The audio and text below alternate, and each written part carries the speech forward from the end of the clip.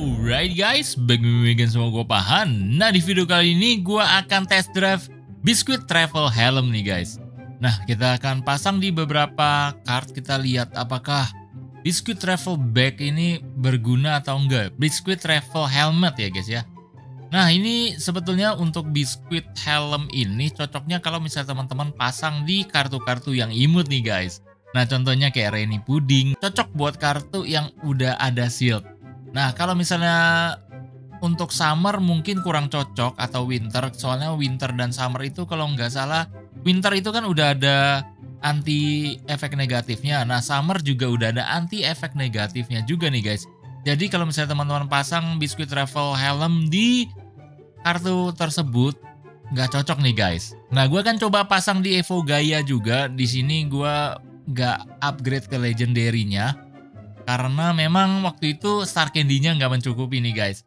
Nah di sini gue kasih lihat juga buat teman-teman yang nanya nih, kira-kira kalau misalnya belum punya sama sekali helm yang bagus, pilih yang mana nih? Nah kalau misalnya teman-teman belum punya helm yang bagus, teman-teman bisa pilih Axit helm atau teman-teman bisa pilih titanium discharge helm ini bagus untuk untuk yang belum punya helm sama sekali nih guys karena dua helm ini cocok untuk dipasang di kartu kebanyakan kartu. Nah kalau misalnya kartu teman-teman udah ada shieldnya, teman-teman mungkin bisa pasangi titanium discharge helm aja. Tapi kalau misalnya teman-teman belum punya shield untuk untuk kartunya, teman-teman bisa pasangi Arxit helm nih guys. Selain dia bisa ngasih pertahanan dua kali, juga tambahan shield berguna juga nih guys. Jadi otomatis empat pertahanan nih guys. Oke, di sini juga ada titanium assault helm. Mungkin sekarang udah agak jadul tapi masih tetap kepake sampai sekarang. Teman-teman bisa kejar ini juga titanium assault helm supaya kalau misalnya lawan jatuh ke landmark kita atau ke area kita otomatis dia bisa hancur dadunya nih guys. Kalau yang karbon um, titanium helm udah nggak zaman ya, udah kurang bagus nih guys. Daripada titanium helm mendingan titanium assault helm nih guys. Terus uh, shield assault helm. Ini karbon ini kalau nggak salah bisa maju mundur deh. Kalau shield assault helm ini dia gak ada defense-nya sama sekali. Jadi kalau misalnya teman-teman punya kartu yang yang udah ada defense kali duanya, pertahanan begalnya, ya teman-teman boleh pasangi shield assault helm ini nih guys. Alright, jadi kita akan langsung coba aja. Nah, untuk titanium booming helm ini sebetulnya pendan ini lumayan bagus kalau misalnya teman-teman pasang di kartu TTL nih guys. Nah, kartu TTL dikasih pasangi bom-bom seperti ini ditambah sendirinya juga bisa ngecat kayak Didi. Nah, ini bagus ya untuk titanium booming helm nih guys. Oke, jadi kita akan langsung test drive aja kali ya. Oke guys, kita akan coba battle pertama kita pakai Rainy Pudding ya guys. Karena ini kayaknya cocok untuk dipasangi di puding alias kartu. Ini kan ada ada shieldnya. Jadinya menurut gue sih lumayan cocok nih guys. Dan ini set puding gua. Teman-teman bisa ikutin. Kalau misalnya enggak juga nggak apa-apa nih guys. Nah ketemunya ada Didi nih guys. Nah ini dia nih. Kalau misalnya ketemu Didi giliran nggak bawa anti cat lawannya itu Didi. Seperti itu nih guys. Dipermainkan nih kalau misalnya gue bawa anti cat, nah gak ketemu Didi, ketemunya kartu bangkrut semua. Serba salah. Gue akan jalan keempat dulu deh, atau jalan kedua juga boleh. Mungkin gue akan bangun dulu. Aduh, ini mah kacau ini. Astaga, gue bangun dulu landmark. Ini pasti kena cat nih. Bomnya aktif kah? Bomnya nggak aktif lawan kita. Alright, gue akan jalan ke 5. Bisa loncat, gue akan ciptakan dulu di sini ya. Nah, ini bomnya aktif nih guys. Kena cat nih. Ini adalah titanium booming helm, booming yang terbaru ya guys ya. Nah, teman-teman bisa lihat efektif atau enggak. Menurut gue sih kalau misalnya teman-teman pasangi titanium booming helm ke kartu kayak Didi, terus Vampire Didi itu bagus banget sih guys. Karena dengan adanya titanium booming helm ini otomatis dia lebih leluasa lagi apalagi kalau misalnya ketemu kayak kartu-kartu gua yang gak bawa anti cat waduh selesai sudah nih guys kemungkinan besar untuk Didi menang itu tinggi banget ya guys ya. Dan di sini teman-teman bisa lihat otomatis udah mau jadi nih guys. Dua kali lagi jadi ya teman-teman ya. Nah dia jalan keempat. Uh masuk penjara. Masih masih ada kesempatan buat gua nih guys. Gua akan jalan ke 12 aja. Kita berusaha untuk melewati dia aja dulu. Ciptakan cakar kucing dulu nih guys. Gua jalan 12 lagi. Nah, kena cakar kucingnya bagus. Bisa loncat. Kita yang ke, ke tempat yang kali empat aja kali ya. Nah, kena heart pounding. Sebetulnya agak cukup sulit juga kalau misalnya kita ketemu si Didi seperti ini ya guys ya. Apalagi kalau Didinya itu... Nah, aku akan mundur ke belakang dulu deh. Ke 8 mungkin. Aduh, dapat double lagi astaga, masuk penjara. Astaga, padahal udah genap ganjil loh. Kalau misalnya kalau genap ganjil itu kita pencet, rata-rata sebenarnya peluang untuk double itu kecil, tapi malah ini dikasih double lagi. Aduh, gue akan pilih marble money aja. Semoga aja dapat double, tapi saya nggak dapat double nih guys. Kena lagi untuk heart poundingnya bisa pindah. Bagus, gue akan segera untuk ngebangkrutin dia aja kali secepatnya aja nih. Nah, gue akan ke uniform shop. Dia akan kena mahal sekali ya guys ya kemungkinan besar dia akan loan tiket. Semoga aja, semoga juga, semoga juga Gridfall gue aktif. Tapi sayang Gridfall gue nggak aktif, dia jalan 12. Nah kalau dia udah lewatin start, nantinya dia akan dapat itu lagi nih guys, dapat kartu lagi. Jadi ini not a good ID juga. Waduh bagus, untungnya dia malah masuk 9. Cuman ada 50% diskon, 50% diskon sebetulnya sih nggak terlalu pengaruh ya guys ya. Nah kali ini gue jalan dulu nih. Gue akan jalan ke 12 aja. Dapat 10 masuk penjara. Ampun dah dadunya. Astaga. jalan ke 7 kali ini. Bangun kota satu kali lagi hampir menang nih guys. Oke, gue masih aman. Gue masih aman nih guys. Kopi-kopinya aktif di saat yang terburuk. Jalan kedua bagus, dapat angka double ya guys ya. Nah, gue akan jalan ke 12 lagi nih guys. Gue coba lagi ya guys ya. Kita coba lagi nih guys. Terus gue akan jalan ke 9. Aduh, duh, duh, duh, 7 ya. Ya udah, 7 juga bagus. Dapat diskon 50% kita buang aja karena nggak penting. Kita coba hancurkan dulu, heart pounding dulu nih guys. Gak ada sobek angel ya guys ya di akun ini, jadinya gua nggak bisa nggak bisa sobek angel dia. Untungnya ada gridfall, kita gridfall dia sekaligus heart pounding dia, otomatis menang nih guys. Wow, setengah mati hampir kalah menghadapi Didi ya guys ya. Oke okay guys, di battle yang kedua gue pakai Evo Gaia dengan berkostum ya guys ya.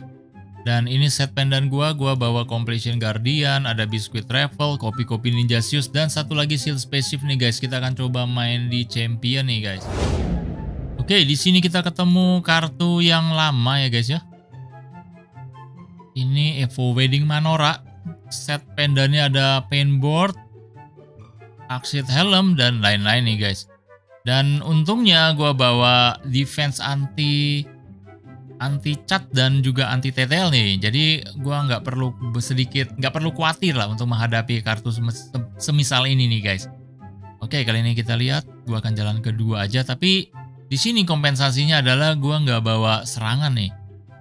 Agak defense ya mainnya ya guys ya. Kita bangun dulu di sini. Ciptakan landmark Gue akan jalan kelima.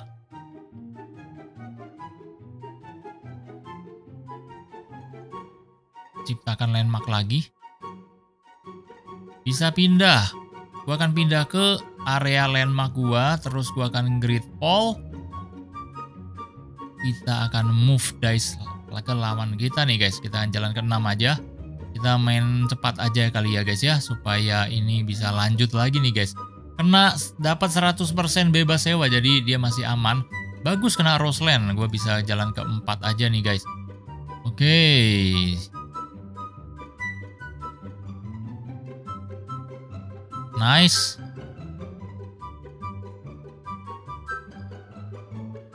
Nah ini kita ketemu Dion. Sebetulnya ya untuk defense efek berbahaya ini memang agak sedikit fungsinya akan berguna kalau misalnya teman-teman ketemu kayak semacam Kimun atau lawan yang bawa Scarecrow seperti itu nih guys. Nah kalau misalnya lawan yang nggak bawa Scarecrow, otomatis pendan ini ya nggak begitu berguna. Dan ini kok gue coba ya beberapa kali agak sedikit boncos ya dadunya ya berkali-kali nih guys. Tapi untuk kali ini enggak. Cuman kemarin gue coba ya beberapa kali dadunya suka ngaco nih. Tapi menurut gue sih mungkin bukan karena pendannya juga ya, bukan karena helmnya dadunya ngaco, karena memang game ini suka ngaco dadunya nih. Kira-kira seperti itu. Akan ke sini aja. Semoga aja Gridfall-nya aktif, tapi sayang Gridfall-nya nggak aktif. Gue akan jalan ke 7 lagi nih guys. Ngandelin Gridfall aja ya. Nggak aktif lagi Gridfall-nya nih guys. Terus pertahanan kali empatnya juga nggak aktif ya guys ya. Sekarang si Didinya jalan nih. Waduh, kalau Didinya... Eh, ini Dion, Dion, sorry. Sekarang Dionnya jalan. Kalau Dionnya jalan memang kadang-kadang bisa meresahkan kalau dia ciptakan seat-seatnya nih guys. Tapi sayang Dionnya juga nggak bawa nggak bawa set pendan yang cukup buat dia atau set pendan memang set pendan andalan Dion ya guys ya. Jadinya ya ya agak kurang. Gue akan jalan kedua aja. Kita akan TTL aja kali ya guys ya. Jalan 12. Tadi harusnya jalan 10 nih guys. Ya udahlah nggak apa-apa. Gua bisa sih ke practice room. Kita akan dulu landmark. Gue bisa pindah ke sini, gua akan pindah ke sini. Bikin dulu landmark banyak-banyak ya guys ya. Jadi kalau misalnya kita ngontrol lawan tuh masih masih bisa gitu loh guys. Gua akan jalan ke sebelah saja kali ya. Ayo dong kopi ninjanya aktif dong. Oke, kopi ninja gua nggak aktif nih guys. Sekarang Dionnya jalan kedua.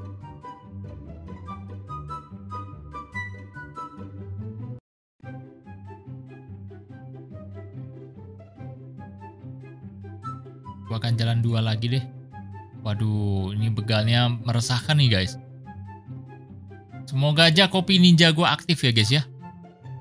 Tolong dong kopi ninjanya aktif. Bagus, aktif kopi ninja gua. Jadi gua bisa ke sini mungkin. Kita bisa bangkrutin dia. Kena efek Roseland, bagus. Karena lawan kita itu nggak bawa anti ini, anti efek negatif, jadinya ya berantakan ya guys ya. Ya udah kita menangin aja. Oke, ke sini. Alright, nice.